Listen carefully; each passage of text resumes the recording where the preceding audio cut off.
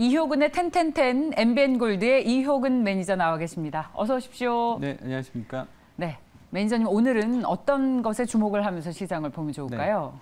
그 지난주부터 이제 제가 음. 이제 시장의 그 긍정적인 부분들을 좀 말씀드리려고 그러는데요. 네. 오늘은 이제 환율 차트 어. 좀 보면서 말씀드리겠습니다. 예. 어, 지난주 제가 이제 아마 이제 반도체 얘기를 좀 했었을 거예요. 이제 반도체가 어, 한번 정도 지금 먼저 움직이기 시작했다. 이제 이런 흐름들이 어, 지금 미국 시장에서 포착이 되고 있고요. 오늘 우리 시장이 조금 어, 전체적으로 좀 고전하고 있는데 어, 제가 보기에는 어, 이게 이제 최근에 이제 분위기 때문에 그렇지 어, 시장은 이미 돌아선 게 아니냐 이렇게 보여집니다. 어, 그리고 이제 지금 원달러 환율 차트 어, 보면서 말씀을 좀 드릴게요. 지금 원달러가 지난번 이제 1,300원을 찍고 어, 지금은 어, 약간 1,276원까지 약간 이제 꺾인 모습입니다. 근데 여기서 우리가 이제 환율에서 환율은 이제 두 가지 양날의 칼이 있을 것 같습니다. 이제 첫 번째가 뭐냐면 어, 환율이 너무 급등하게 되면 시장이 좀 불안하죠. 어, 그렇지만 이제 환율이 높다는 얘기는 어, 수출주한테 상당히 어, 긍정적인 어, 이러한 효과가 있습니다. 그러니까 똑같이 그 우리가 돈을 달러로 벌었을 때 이게 이제 환율로 환산이 됐을 때 어, 같은 똑같은 달러로 해도 그 환율에 따라서 영업이익이 급격히 어, 커질 수 있는 그러니까 수출주들한테는 상당히 크게 어, 영업이익이 늘어나는 이러한 이제 효과가 좀 있고요. 그다음에 이제 두 번째는 어, 전체적으로 이제 우리 시장에 있어서 우리가 이제 봐야 될 포인트가 뭐냐면 어, 지금 최근에 이제 우리 시장이 너무 많이 빠진 게 아니냐 이제 이렇게 보는데 이제 외국인들은 우리나라 이제 원달 어, 원을 가지고 이, 어, 계산을 하는 게 아니라 어, 미국 달러 기준으로 계산을 하게 되거든요. 그러니까 지금처럼 이렇게 환율이 높을 때는 어, 전체적으로 어, 전체적으로 그 환율에 있어서 어, 그 환율로 원화로 환산했을 때 달러를 어, 원화를 달러로 환산했을 때 그때 이제 주가가 상당히 어, 싸진 느낌 어, 이러한 분위기가 있습니다. 그래서 지금 주가가 상당히 많이 빠진 상태에서 어, 최근에 이제 원 달러 환율까지 떨어졌기 때문에 어, 전체적으로 시장에서는 더 싼 느낌 이런 느낌이 어, 외국인한테 어, 나올 수 있다. 이 부분을 말씀드린다면 어, 지금은 상당히 좀 가격적인 메리트가 아, 환율 부분에서 물론 이제 환율이 급격히 상승할 때는 부담이 될 수 있겠지만 지금처럼 어, 이러한 상태에서는 어, 상, 오히려 지금 이제 산, 어, 상승 부분이 이제 꺾였을 때는 어, 긍정적으로 작용할 수 있다. 이렇게 말씀드리겠습니다. 네. 환율이 너무 많이 오르면 사실 네, 일부 종목의 수혜를 논하기 전에 네. 전반적인 거시경제에 상당한 부담이 되겠지만 1,300원을 찍고 이제 하향 조정을 할 것이다. 네. 라는 전제 하에 어, 어, 기대 네. 수익을 올릴 수 있는 수출주 얘기를 네. 하시고 그러니까, 있는 건데요. 네, 예. 최근에 그 보시면 알겠지만 이제 그 수출주들이 영업이익이 예상치보다 상당히 높게 나왔어요. 이 높게 나온 이유는 환율 효과가 상당 부분 차지했다. 맞습니다. 네. 그렇다면 이런 관점에서 오늘 주목해야 할 종목은 뭔지 네. 궁금합니다. 네, 오늘 어, 오늘도 역시 이제 텐텐텐 점수를 가지고 말씀을 드릴 건데 어, 일단 펀더메탈 어, 보면서 말씀드리겠습니다. 일단 이제 펀더메탈에서 지금 나오고 있는 종목들은 뭐냐면 에, 어, LG 에너지 솔루션이 있고요. 그다음에 삼성 SDI, LG 노텍, 어, 덕산 네오눅스, 그다음에 넥스틴 어, 이러한 지금 어, 종목들이 좀 잡히고 있는데 여기서 이제 특징은 2차 전지 쪽이 이제 최근에 낙폭과대에 따라서 이제 펀더멘털 어, value가 좀 부각이 되는 것 같고요. 어, 그다음에 이제 최근에 이제 시장 때문에 좀 많이 빠졌던 IT주들, LG 이노텍이나 덕산 네오룩스, 그다음에 넥스틴 이런 종목들이 어, 최근에 수급이 어, 펀더멘털 이러한 value가 부각이 됐다. 이 점이 어, 특징적이고요. 다음은 이제 수급 보도록 하겠습니다. 어, 수급에서 이제 상위 종목들을 먼저 이제 살펴보도록 하겠는데 일단 어, 여기서 눈에 띄는 건 이제 삼성전자 하이닉, XK 하이닉스가 어, 들어왔다. 이 점이 어, 시장에 좀 긍정적인 요인으로 작용할 것 같고요.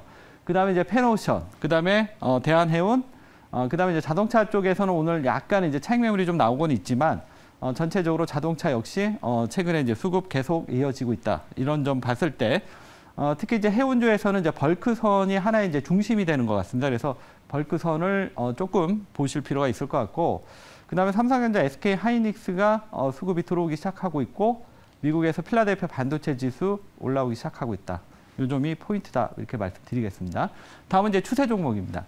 어, 추세에서는 이제 아직까지는 이제 좀 개별 종목 성격이 가지고 있는 종목들이 나타나는 것 같아요. 일단은 DDR5 관련주, 아비코전자, TLB, 어, 그 다음에 이제 UAM 관련 어, 약간 이제 개별 종목 성격 을 갖고 있는 기사텔레콤, 어, 베셀, 어, 그 다음에 이제 지금 최근에 그 바이오에서는 HLB 그룹주들이 어, 수급이 조금 들어오고 있다. 이 점이 눈에 띈다 말씀드리겠습니다. 음.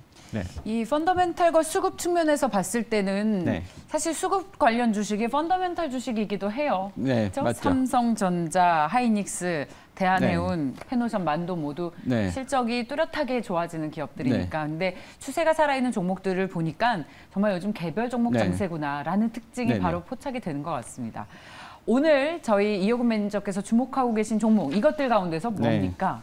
어, 오늘은 어, 그 펀더멘탈 쪽에서 두 종목 선정을 음. 해봤습니다. 첫 번째 종목부터 보도록 할까요? 예. 어, 첫 번째 종목은 덕산 네오눅스입니다. 어, 덕산 네오눅스의 어, 기업 내용 간단히 먼저 좀 살펴드리도록 하겠는데요.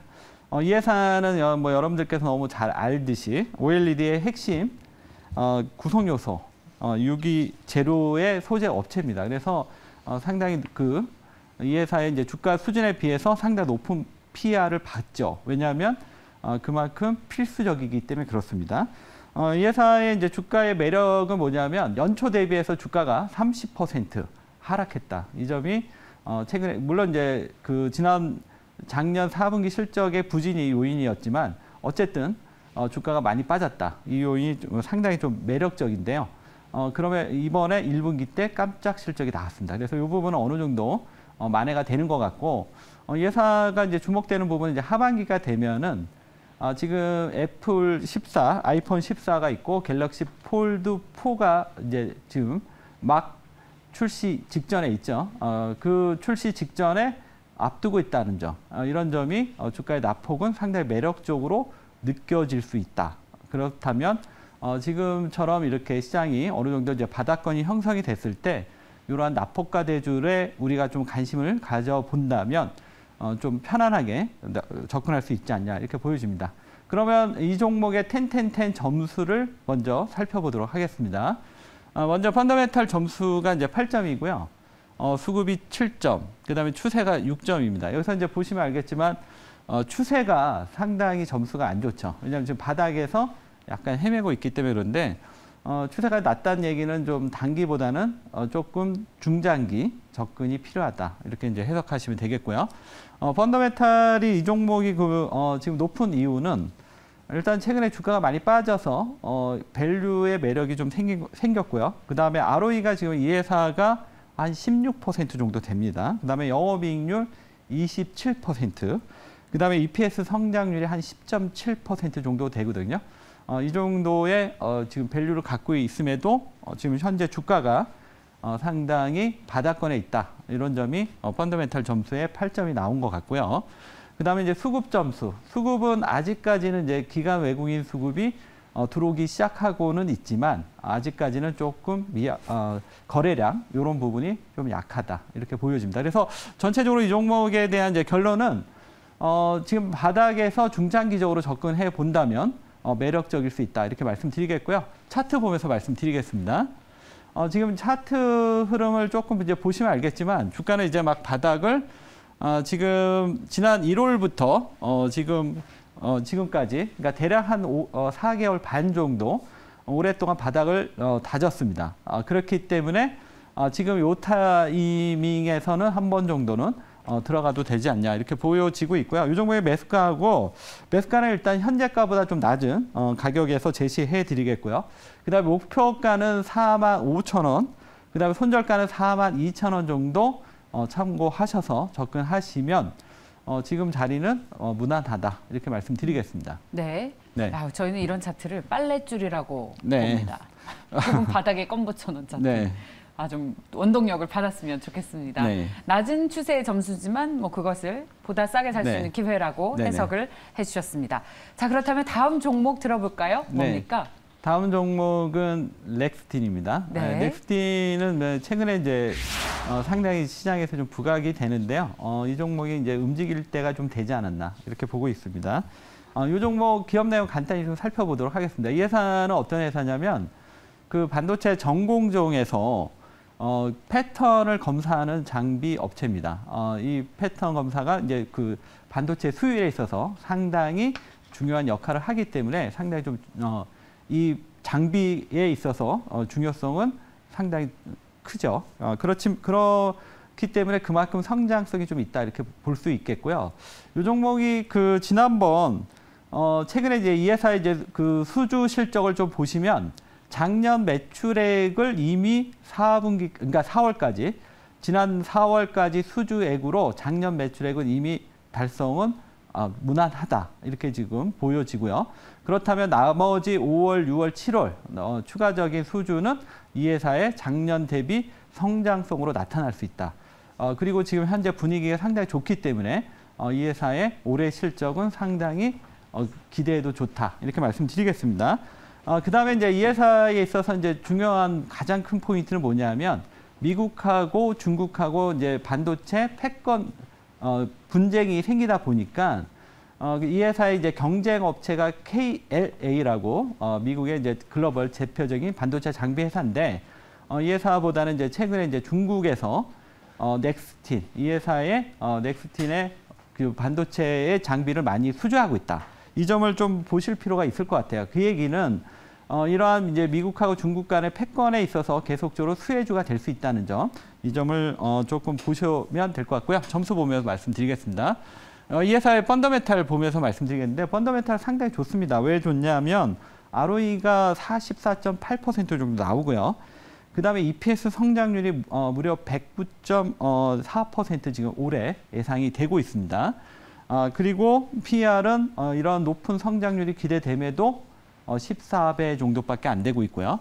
어, 다만 이제 수급이 어, 기간 수급이 안 들어오는 건 아닌데 거래량이 너무 약하다. 어, 이 점이 좀 약점이고요. 어, 추세도 아까 덕산 네오룩스보다는 어, 좀 더 빨리 움직일 수 있다. 이렇게 보시면 될 것 같습니다. 왜냐하면 아직 이제 박스권에 갇혀 있지만 어, 박스권 상단에서 돌파 시도가 나올 수 있습니다. 아, 그러면 어, 차트 보면서 이 종목에 어, 매, 접근하는 전략을 말씀을 좀 드리도록 하 겠는데요. 이 종목은 일단은 이제 현재가 어, 매수로 들어가시면 되겠고요. 아직은 어, 이 종목 자체 패턴을 좀 보시면 이렇게 이제 어, 그 계단식으로 좀 올라갑니다. 그래서 급한 상승은 아닌데 어쨌든 꾸준하게 우상향 상승을 보여주고 있고 지금은 또 한번 다시 한번 어, 한 계단 올라갈 수 있는 타이밍에 들어왔다. 이렇게 말씀드리겠습니다. 그 종목에 그러면 어, 매매 어, 전략 말씀드리도록 하겠는데 일단 매, 현재가보다 좀 낮게 예, 현재가가 지금 한 6만 9천 원 정도 되니까 고 어, 6만 9천 원보다는 좀 낮은 가격에서 접근하시면 좋을 것 같고요. 목표가는 어, 일단은 7만 7천 원 정도 한 10% 정도 어, 접근하도록 하겠고요. 그다음에 손절가는 어, 지금 이 하단부 대략 6만 6천 원 정도 어, 잡고 접근하시면 어, 무난하지 않을까. 일단 이 회사 자체가 워낙 펀더멘탈로 우수하기 때문에 한번 길게 접근하신다면 좋은 결과 나올 것 같습니다. 자 오늘 네. 덕산 네오룩스 그리고 넥스틴 대체로 네. 펀더멘털 점수가 높은 그런 기업들이 포진이 네. 되어 있네요. 네 오늘은 펀더멘탈이기 때문에 어, 단기보다는 좀 길게 음. 보고 가시면 좋을 것 같습니다. 네. 네. 매니저님께서 보시는 그 길게의 개념은 네. 한 어느 정도세요? 여기서 제가 이제 길게라는 거는 음. 어, 대략 한 달 이상 정도는 좀 봐야 되는데 그렇다고 뭐 무대포로 한 달은 아니고요. 네.